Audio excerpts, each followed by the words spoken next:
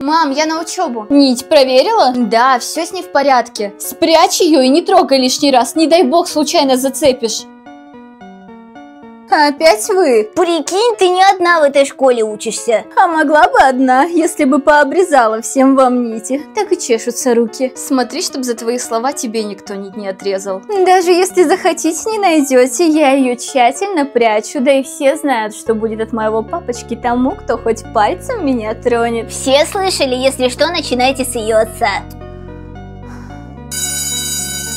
Дети, начнем наш урок, а после него отправляйтесь в 35-й кабинет на проверку нитей. Да сколько можно их проверять? Чего вы все о них так печетесь? Реально, почему у нас вообще есть эти нити? Чувствую себя какой-то марионеткой. Так и есть. Что? От нитей зависит ваша жизнь. Перережете нити и исчезнете. Все мы с ними рождаемся, и если хотим жить долго и счастливо, то должны беречь их. Моя мама рассказывала, как видела в роддоме, что не все дети с ними рождаются, но почему-то потом даже тем, кто родился без нити, все равно их пришивали. Фу, какой ужас. Бред, твоя мама, наверное, любит рассказывать тебе сказки на ночь. Все мы с ними рождаемся. Ну да, ну да. Кира, ты что-то знаешь? Почему на уроке ты насмехалась над тем, что говорит учитель? Есть теория о том, что действительно не все люди рождаются с нитями. С ними рождаются только марионетки. Люди без своего сознания. Ими движет нечто другое, кто-то управляет ими. Если обычный человек перережет нить, с ним ничего не будет. А вот если марионетка, она исчезнет навсегда. Какой в этом смысл? Почему тогда всем людям их приделывают? Разве не в интересах людей вычислить марионеток? Ведь они могут быть опасны, если ими кто-то управляет. Это выгодно кому-то свыше. Они не хотят, чтобы марионеток было легко вычислить по нитям, поэтому пришивают их всем людям. Марионетки собирают информацию, и их руками вершатся всякие грязные дела. Странно, что моя мама тоже об этом говорила. Думаешь, это правда? Я знаю, что это правда. Ты где пропадала всю перемену? Стояла в очереди в столовку. Ты видела, сколько там людишек набежало за пиццей? Пришлось выпустить своего тарантула. Сразу все разбежались. Не голодный, наверное? Да, Лиз, хорошо всегда иметь под рукой такой козырь на все случаи жизни. А, погоди, у твоего паука что, тоже есть нить? Ну да, у всех же она есть. Мне кажется, это распространяется только на людей. Ты ему ничего не пришивала? Нет, конечно. И вообще, где ты увидела у него нить? Может, это паутинка из жопки торчит? Не знаю. Вернулась? Как дела в школе? Все хорошо, мам. А ты правда видела, что некоторые дети рождались без нити? Да, но я не уверена в правдивости своих воспоминаний. Я потеряла сознание во время родов и очень смутно все помню. А я? Я родилась с нитью? Да, кажется, ты была с ней, не помню. А что за вопросы? Да так, просто было интересно. Я пойду уроки сделаю. Ну ладно. Так значит, если Кира права, я могу быть той самой марионеткой.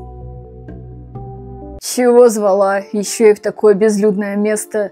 Кира, слушай, а что если эту теорию проверить и отрезать нить? Я уже проверила. У меня несколько лет нет нити. Я приклеиваю ее каждый раз, когда собираюсь в школу. Все, что я сказала, правда. Что? А как ты думаешь, к животным, насекомым и так далее эти нити тоже приклеивают? Нет, зачем? Это распространяется только на людей. Нить может быть только если это питомец марионетки, и он с ней с самого рождения. Значит, Лиза может быть одной из них? Что будет, если мы обнаружим марионетку? Она не даст обрезать себе нить. Помни, что за ней стоит кто-то во много раз умнее всех нас. Но если бы человечество избавилось от марионеток, то у того, кто за всем этим стоит, больше не было бы власти над людьми. Жаль, до большинства этого никак не донести. Лиза, а дай подержать твоего паука. Чего? В последний раз, когда я тебе пыталась его всунуть, ты сознание потеряла. Да, но я решила бороться со своими страхами. Как говорится, взгляни своему страху в его восемь глаз. Ну, держи. У нее ножницы за спиной. Ника, это правда? Зачем тебе ножницы? Ты что, хотела прикончить моего паука? Нет, Лиза, мне нужно было кое-что проверить. Знаешь, Ника, мне пора на урок. Лучше держись от нас подальше. Блин, и теорию не проверила, и подругу потеряла. Стоп, а какое вообще до всего этого дела Линси? Почему она заступилась за Лизу? Мы же враги.